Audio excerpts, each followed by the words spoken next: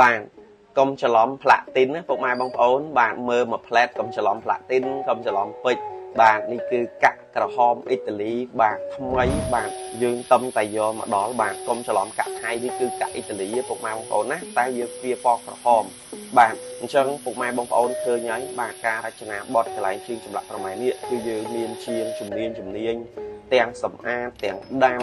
បាទគឺត្បូងគឺពុកម៉ែបងប្អូនសឹងថាពាក់តកូនតចៅពុកម៉ែបងប្អូនបាទមិនងាយទៅណាទេដោយសារគ្រឿងយើងធ្វើមួយមួយគឺលំអិតណាស់ពុកម៉ែបងប្អូនបាទមួយគ្រឿងមួយគ្រឿងហ្នឹងចូល5ថ្ងៃទៅមួយអាទិត្យណាពុកម៉ែបងប្អូនអញ្ចឹងពុកម៉ែបងប្អូន25ខែក្រុងខ្លះគាត់តែតែឆ្ងល់ថាជាងធ្វើមិនបានយូរម៉េះមកដល់ហ្នឹងគឺយើងគូបាទយើងគូហើយយើងព្រីនជ័រ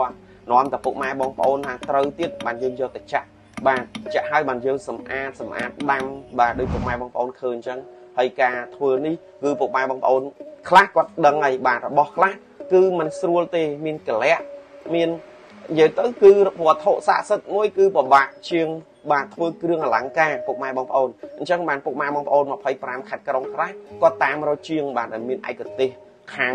បាទវត្ថុដូនតាអញ្ចឹងណាបាទគឺគាត់តាមរកព្រោះជាងវត្ថុដូនតាដែលស្រោបរបស់ដូនតាពុកម៉ែបងប្អូនមិនឲ្យឆេះមិនឲ្យបែក បានមិនឲ្យខូចទ្រង់ទ្រាយគឺពុកម៉ែបងប្អូនតែងតែនឹកឃើញហើយគឺជាចម្លាក់ប្រម៉ែនេះមុនគេបាទគឺធ្វើមកគឺបាទគឺយើងធ្វើច្រើនឆ្នាំដែរពុកម៉ែបងប្អូនបាទស្រោបជិត10ឆ្នាំដែរអញ្ចឹងពុកម៉ែបងប្អូនក៏អាចមានទំនុកចិត្តខ្ពស់ដែរបាទហើយកុំភ្លេចជួយ like share ផងពុកម៉ែបងប្អូនណា ក្នុងឱកាសរដូវបិណ្ឌខ្ជុំគឺនៅ free ឆ្លាក់ដដែលពុកម៉ែបងប្អូនបាទ free ឆ្លាក់ដដែលដែលយកស្រោបដាំពេជ្រជាអេ